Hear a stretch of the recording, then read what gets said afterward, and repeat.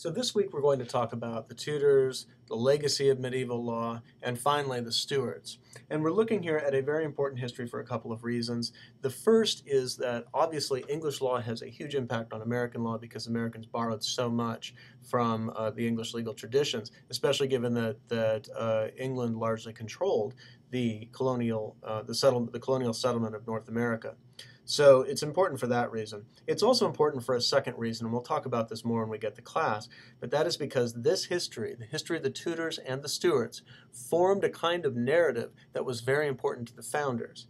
Uh, in the same way that we tend to look to the founders for guidance, uh, to think about uh, the founders as having a specific kind of authority, the founders did the same thing with uh, figures in Tudor Stuart England. And they told these stories to each other, they read about these, they, ga- they gathered a lot of wisdom from the actual history uh, of the 16th and 17th centuries. So we want to look really at three issues. The first is to look at what exactly is a king. And what we'll find here is that medieval notions of a king uh, were greatly different from early modern notions of a king. So you want to start thinking about how kingship transforms in the 16th century. Uh, the second question is how the legacy of medieval law restrained kings. As kings moved towards more power, particularly towards absolute power, which they do in, in virtually every monarchy in Europe, including England, in the 16th and 17th centuries, uh, medieval law did serve to restrain them. And so we have to think about precisely how that happened. Finally, we have to, to think about the specific changes that were made in England. How did the Tudors transform medieval government? And uh, we're going to come back to this last question actually in a second lecture. For this one, we're just going to look briefly at the legacy uh, of medieval law. But I do want you to think about this in long-term chronolog chronological perspective. And it, you'll notice here, if you look carefully at uh, the 15th through the 18th century, uh, what you see is a stable Tudor dynasty, and they really followed civil war and then they bequeathed civil war. They were an island uh, on the side of two tempests, if you will. And so, for that reason alone, uh, this Tudor history becomes very important. Now, in thinking about the medieval legacies of the common law, I want to think about uh, several things. And really, uh, here I want to talk about the common law as an abstract set of principles, as a concrete set of institutions, and as a set of formal law that by the 16th century had become strong enough and powerful enough that certainly no king could be expected to understand its intricacies. There are within its formalism and procedure several things that are very important. The first is the development of an appellate system within the courts, and I have this referred to here as judicial review. And I don't mean the American practice of courts reviewing legislation for its constitutionality. That's not the judicial review that I'm speaking of here. The judicial review I'm speaking of is the review of an uh, by a superior court of a, the record of an inferior court. The primary way it did this, uh, the way this worked in the medieval era, was through the writ of error. And it's important to mention this for two reasons. First, the writ of error survives into American constitutional practice. It was the primary means by which the, state, the Supreme Court of the United States reviewed cases. And in fact, it was through the writ of error that they reviewed cases right up until the 1920s, I believe. Uh, second reason is uh, that the writ of error and the way it works uh, treats the record, this is a law that grows up around the writ, it treats the record that gets called up as sacrosanct. That is to say, all facts that were in the record when it arrived were simply assumed to be true. The only thing that could be checked and corrected were errors on the face of the legal record. So if the judge at the lower court applied the wrong law or did not follow the correct procedure at some point, that could be corrected. And when that was corrected, it usually meant throwing the case back down to be retried. So procedure actually becomes very important uh, around the writ of error. And the same thing is largely true of the appeal. Uh, it was another means of, of getting cases to uh, uh superior courts. Now, uh, I talked about institutional stability, and I wanted to put this diagram up so you'll get an idea of two things. First of all, royal justice is quite advanced by the 16th century.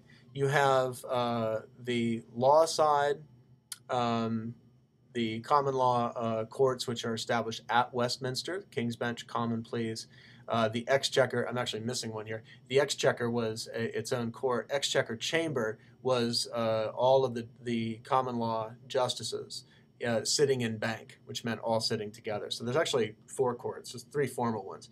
Uh, King's Bench, Common Pleas, and Exchequer. And then the Exchequer Chamber kind of reviews serious legal issues when they want more justices' opinions. The assize courts, uh, these are the, the itinerant royal justices who go out and hear criminal cases in the counties. Um, they uh, also meet in Westminster and banc. And in fact, uh, through the appeal, they, they would oftentimes reserve uh, difficult points of law for discussion with all of the judges when they got back to Westminster. And this is one of the ways that the appeal develops. Um, finally, uh, there was the law side and there was the equity side. And uh, I we discussed equity last week, so hopefully you understand it. But the important thing is that uh, uh, the chancellor actually, the chancellor himself was sort of the, the reserve power of equity. He was the one who sat over uh, the chancery and heard equity cases. So equity is a limited jurisdiction, but it still represents another important point of royal justice. But notice that the bulk of law, uh, fully 80% of the law, is administered at the local level by justices that are not really royal justices uh, by the city courts, by the manorial courts, by justices of the peace in the county. So this this represents the majority of of uh, what we see. Uh, the prerogative courts, at least at the beginning of the 16th century, were also quite small. They will become more important, uh, as we shall see with the Tudors. But now, in terms of the formalism of the common law, we have to keep in mind here that the ossified writ system, that is, the writ system that developed from the 12th through the 14th centuries, had become completely established. And as such, kings could not actually uh, modify the writs. And uh, in fact, this, this creates a rather interesting situation. Uh, kings, when they come into power, I mean, if you go back to the, the 12th century, uh, you think about kings like Henry II, he's, he was actually out creating writs and creating a system of justice. But by the time you get to the 15th century, kings are born into this system, and they can no longer change it and they must receive it because it is, in fact, the word of the king that establishes it. And by the way, I, this is confusing. Obviously, this is the uh, number of writs which have been issued. There becomes a system to this in, in, in a way. Uh, these were, were writs that dealt with property. Uh, these were writs that, in fact, dealt with uh, what we would call kind of early modern or medieval contract. These writs, which developed in the 14th century, dealt with what the more common ideas of contract and tort law.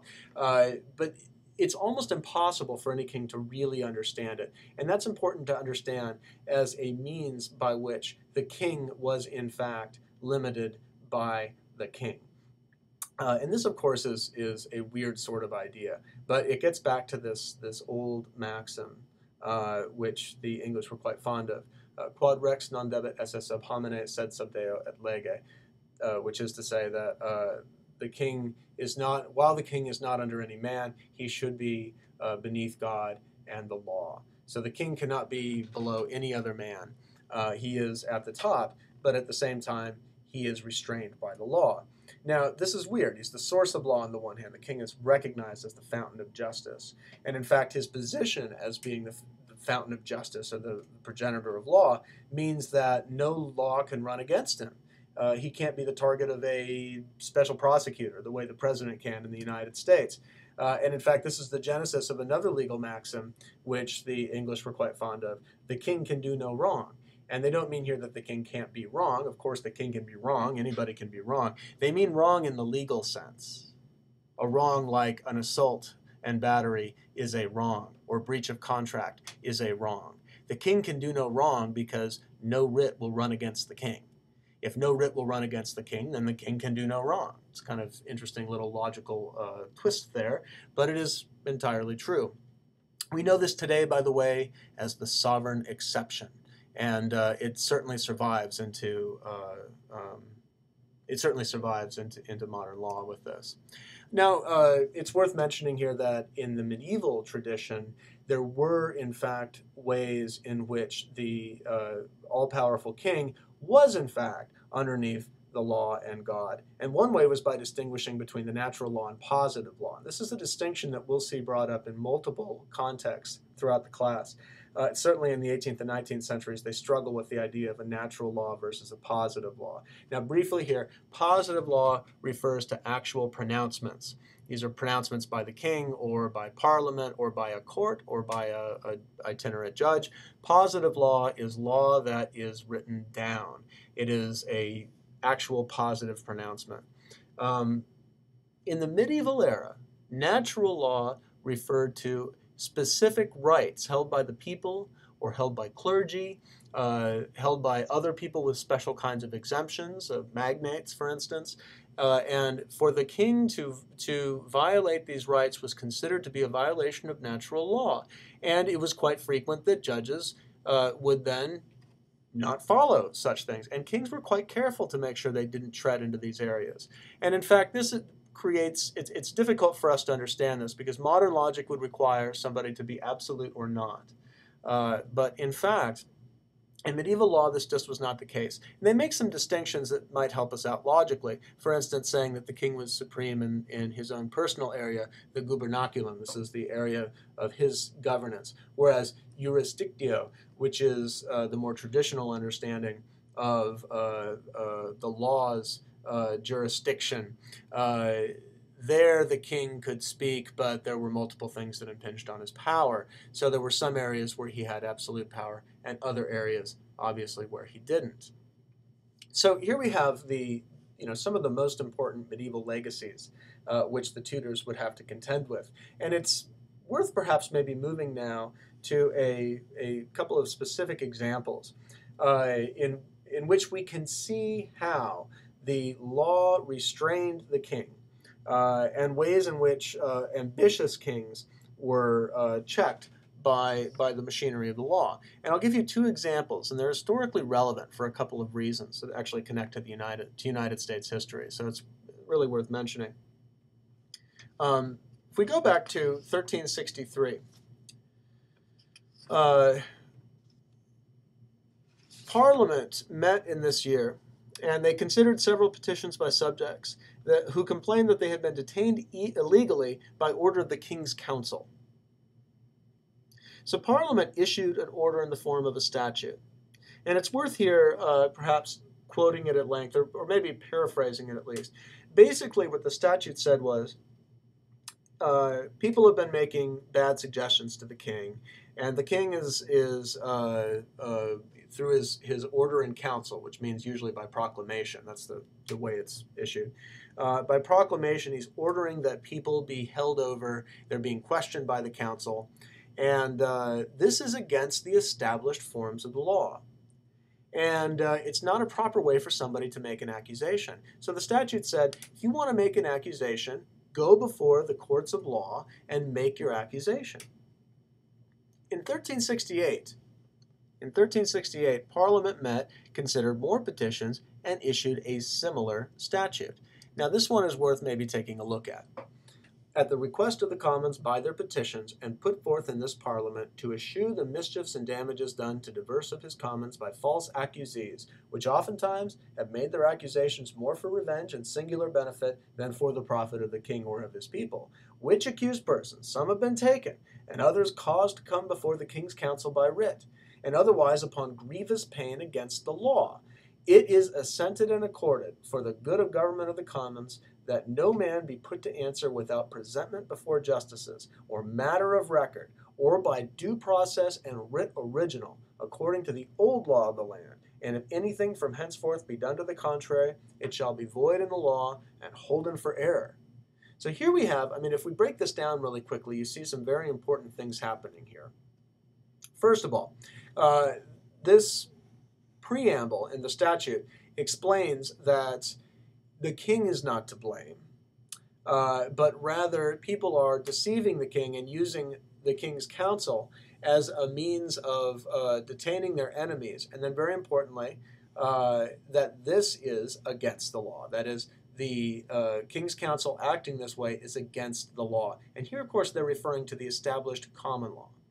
And then here is the command it is assented and accorded for the good government of the commons that no man be put to answer without presentment before justices. So you cannot force somebody to answer unless a grand jury or uh, has has indicted or a uh, the justices have have been issued a presentment.